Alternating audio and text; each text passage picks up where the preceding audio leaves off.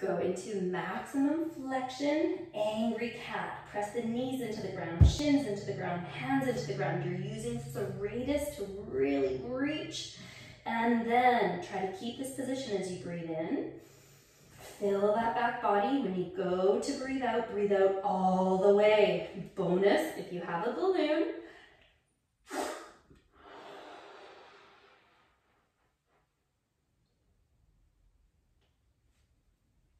When you can't breathe out anymore, hold for two to four seconds. Keep pushing that one hand down into the ground, keeping those ribs there when you breathe in. Expand the back body.